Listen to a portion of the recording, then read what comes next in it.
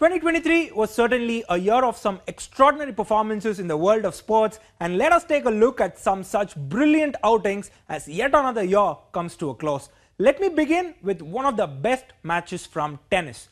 Australian Open round 1 Andy Murray versus Matteo Berrettini.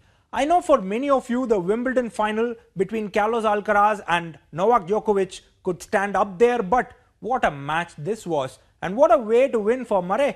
It was the first round of the Australian Open and it was a marathon thriller. Murray won the first two sets 6-3, 6-3 and was cruising through but Berrettini put the Brit back under pressure by winning the next two sets 4-6, 6-7.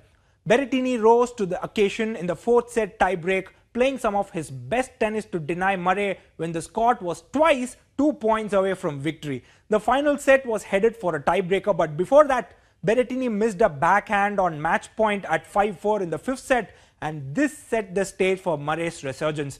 Murray raced to a final lead in the tiebreak and won the fifth set. The match lasted 4 hours and 49 minutes and what a performance it was from both the players. Hats off. Next up, Charles Leclerc, Las Vegas GP. Max Verstappen won the inaugural Las Vegas GP but this was one race where Charles Leclerc showed what he was made of. He secured pole position and in the race, when Verstappen got the jump on him in the first 200 meters, he calmly managed his tires well and was brave on the brakes and continued to hunt down Verstappen to eventually go past him on lap 16. The safety car did come as a setback for Leclerc and Ferrari's decision to go for track position rather than a pit stop proved costly. After a lot of back and forth between Leclerc, Verstappen and Sergio Perez, Leclerc went off the road on 43rd lap. But on the final lap, he pulled off a brilliant move to go past Sergio Perez on the inside in the dying moments of the race to snatch second place. It was a remarkable race and a remarkable performance from the top three on the day. Verstappen won the race, but Leclerc surely won hearts. Next up on my list, India 4, Pakistan nil in the SAFF Championship. Hat-trick for Captain Chhetri, touchline drama, coach Igor Stimac sent off. This game had everything and India were utterly dominant. They gave Pakistan no sniff and created plenty of chances at will. Chhetri was a live wire and his relentless running created the chance for India's first goal as Pakistani goalkeeper Saqib Hanif made a mistake and gave the ball away to Chhetri. His other two goals came from the spot but overall it was a fiery performance from the Blue Tigers. Easy pick for me. I have saved two of the best performances for the last the first of the two is Indian women beating England by 347 runs, an easy entry into the list. The one-off test saw India women steamroll England and India put on 428 runs on board in the first innings with Deepti Sharma scoring a half century along with three others.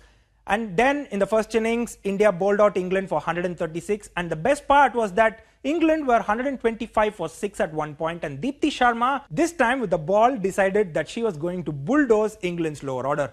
India then declared their second innings at 186 for 6 and set England a target of 479. Deepti again ran through England, picked up 4 wickets and India won by 347 runs. Test match wins are certainly special and this one was massive too. An outstanding team performance and a brilliant individual performance from Deepti too hats off. The last one, probably the best sporting performance of the year in my opinion, is Glenn Maxwell versus Afghanistan in the ICC Men's ODI World Cup. Yeah, I think the mere mention of this innings is enough. It does not need any description, I believe. It was a monstrous innings by a batter who played with an injured hamstring without moving his feet, knocking the Afghan bowlers out of the park with sheer power. Maxwell scored 201 as Australia chased down 292 from a position not many teams would have recovered from. Easily the best sporting performance of the year. Glenn Maxwell, take a bow.